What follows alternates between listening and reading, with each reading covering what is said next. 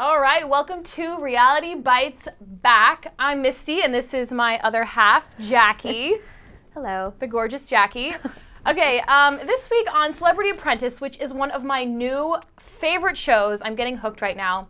Um, it's men versus the women teams, and this week they had the challenge of an art gallery. They had to create art and run an art gallery and see who could raise the most money. Right. It was a very big fundraising kind of event that they were Mm-hmm. both doing. And they, they had to make their own artwork, Yeah. which was a little bit interesting. But I think the best part is um, before they started making the artwork on the men's team, there was a little fight. Yeah, okay. Meatloaf allegedly said that Gary Busey stole his bag of art supplies. Yes, his, his paint. That's and, it. His paint and sponges went missing. And uh, I mean, really, who else are you going to blame but Busey? So if we could play It's that. incredible. Play the clip. Play the clip, Play yeah. it. I don't see another bag over here. Okay! What's wrong? Mother! What's wrong?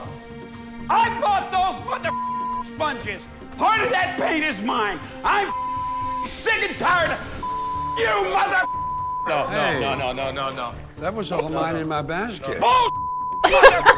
No, I've been Come on, guys, come on. Oh my You don't want to make you get it. You don't want to start with me. Meat, don't do it. Don't do it. Mother, you do not want to with me. You look in my eyes. I am the last person in the world you ever want to with. Wow. You understand me? This is so intense. I love it. Oh my gosh. I was like holding my breath during that because I just didn't know what was going to come next. It was so intense and I loved it. Oh, I I mean, I think it's pretty bad if you're making Gary Busey look like a normal person. Good point. And I mean, I I- hate to say it, but he was literally like a burnt, overcooked meatloaf. Seriously. He was. He was overdone. Stayed in that oven a little too long. Came out like a bat out of hell. And it's ironic because he's usually the really conservative one. He's always like, you know, this is for charity, Right. you know, do this challenge for the kids. And here he is blowing up out of proportion like nothing I've ever seen. I don't think I've ever seen somebody lose their mind like that over paint supplies.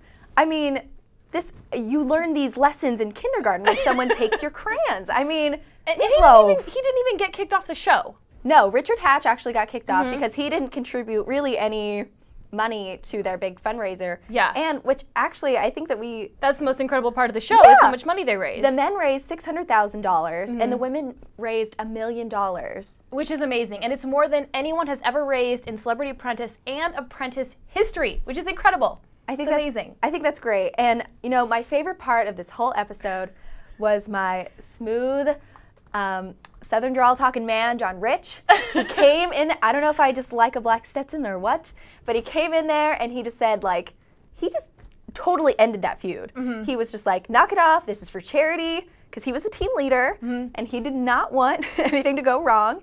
And he totally just put Meatloaf in check. Yeah. I thought was amazing. He's really stepped it up like this whole season, not just in this project because he was project manager for the art gallery challenge, but this Right. whole season, he's like really come up as like a great contender. He like is cool, he's really smart, he's so creative. Like I'm loving him. oh, I'm loving me some John Rich. All right. Definitely.